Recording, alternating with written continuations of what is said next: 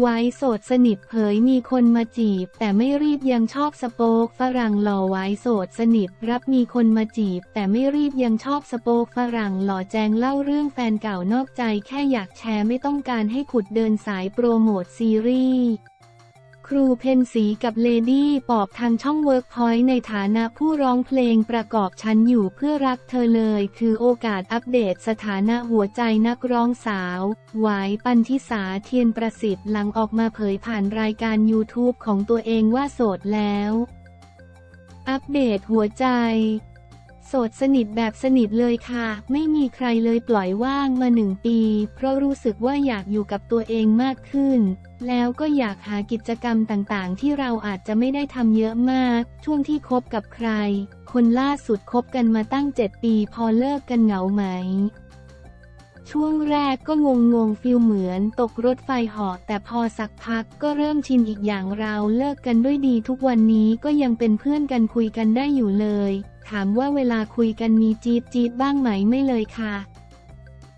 รู้สึกโอเคมากกับสถานะตอนนี้เพราะทั้งคู่รู้สึกเหมือนกัน ด้วยความที่เราอาจจะรู้จักกันมาก พอที่จะเป็นเพื่อนกันต่อไปได้ โอกาส return อันนี้เป็นเรื่องของอนาคตเลยค่ะ แต่ถ้าให้ตอบตอนนี้คือสถานะแบบนี้ดีที่สุดค่ะ ช่วงหนึ่งปีที่โสดไม่มีคนมาจีบเลยเหรอ มันก็มีบ้างแต่อย่างที่บอกช่วงนี้ใช้เวลาอยู่กับตัวเองมากกว่า ไม่ใช่ว่าเข็ด แต่แค่รู้สึกว่ามัน enjoy กับชีวิตในตอนนี้มากๆ ชอบทำกิจกรรมโน่นนี่นั่นชอบอยู่กับครอบครัวและเพื่อนๆด้วย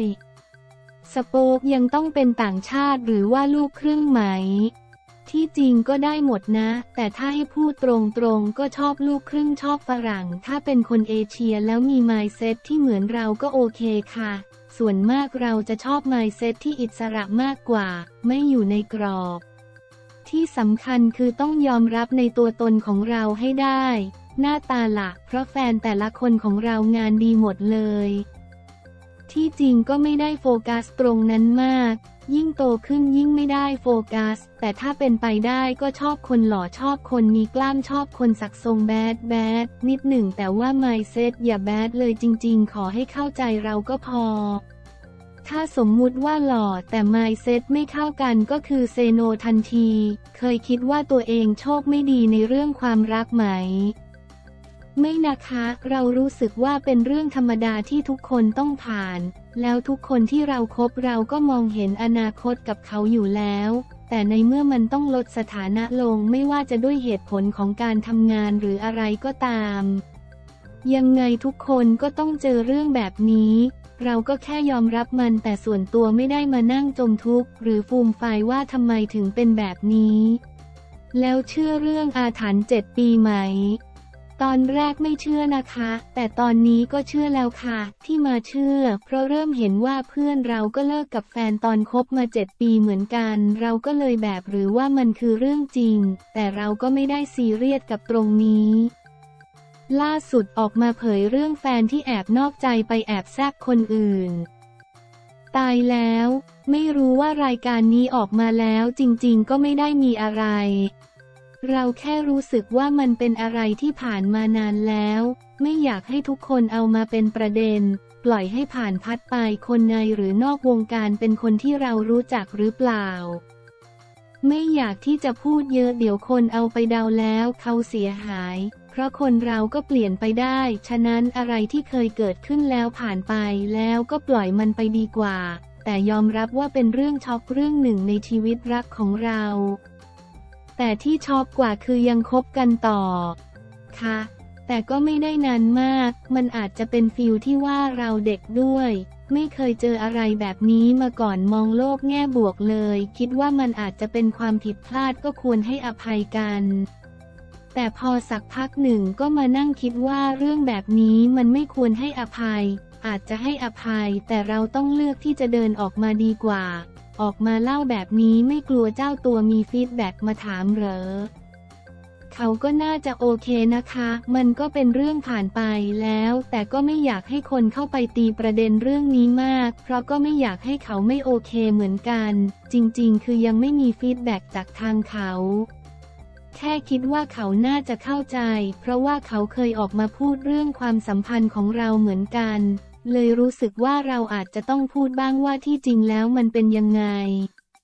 เขาเคยออกมาพูดแสดงว่าเขาต้องเป็นในวงการสิหรือเปล่า หัวเราะ ไม่ไม่ไม่เขาอาจจะแค่พูดตามโซเชียลของเขาเองก็ได้ กลัวชาวเน็ตตามขุดไหม ใช่ใช่ที่จริงตอนแรก เราน่าจะคิดให้ดีก่อนที่จะพูดเรื่องนี้ แต่ว่ามันไม่ทันแล้ว เลยอยากจะบอกทุกคนว่ามันเป็นเรื่องในอดีตก็ปล่อยผ่านไป ไม่ต้องโกรธไม่ต้องเสียใจแทน เราเราโอเคจริง ๆ ออกมาพูด เพราะอยากแชร์ประสบการณ์เฉยๆว่า ถ้าใครเจอเหตุการณ์แบบนี้ให้รู้ว่าต้องตั้งสติยังไง ไม่ได้พูดเพื่อที่หวังจะให้ทุกคนไปขุด หรือว่าใครค่ะ หลายคนคิดถึงงานเพลง อีกไม่นานก็จะมีข่าวดีแน่นอนตอนนี้กำลังพยายามเร่งกับค่ายทำเพลงอยู่ ยังไงก็ฝากติดตามด้วยสไตล์เพลงที่วางไว้ยังคงคิดความเป็นตัวของตัวเองอยู่ แต่อาจจะโตขึ้นนิดหน่อย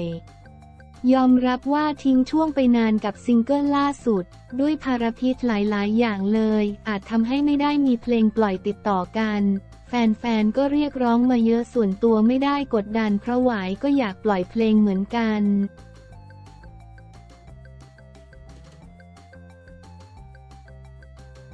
แซนร่วม frame ไฮโซน้ำหวานส่องแคปชั่นหลังเพิ่งไปให้กำลังใจ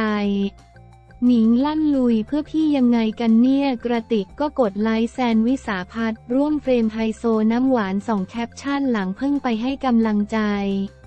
หนิงปณิตา ลั่นพร้อมลุยเพื่อพี่ก่อนหน้านี้หนิงปณิตาในยามที่เจอปัญหาชีวิตคู่เพิ่งเผยโมเมนต์ไฮโซน้ำหวานวรพันธ์อดีตคู่กรณีที่เคยเป็นข่าวใหญ่โตขึ้นศาลกันมาแล้ว วันนี้มาอยู่เคียงข้าง ลบภาพอดีตจากศัตรูกลายเป็นมิตร แถมยังให้กำลังใจอาสาลุยช่วยพี่ ขอให้บอกน้องนั้นล่าสุดวันที่ 15 มีนาคม 2566 เมื่อกลางดึกที่ผ่านมาแซนวิสาพัฒคู่กรณีหนิงปณิตา ซึ่งล่าสุดก็ยังยืนยันจะแจ้งความหนิงอีกสามข้อหาบอกด่าได้แต่ไม่ฟรีก็เผยภาพร่วมเฟรมกอดกับไฮโซน้ำหวาน พร้อมแคปชั่นว่า ราะเราคู่กันไม่ใช่คู่กรรมอีโมจิหัวใจและอีโมจิจุ๊บจุ๊บพร้อมแท็กไอจีไฮโซน้ำหวานด้วย แอดนามวันทีทั้งนี้กระติกอิสรินก็ได้เข้ามากดไลด้วยขณะที่มีคอมเมนต์เข้ามาบอกว่าสวยแพ็คคู่ รวมถึงยังมีดราม่าแซะเรื่องคดีแตงโม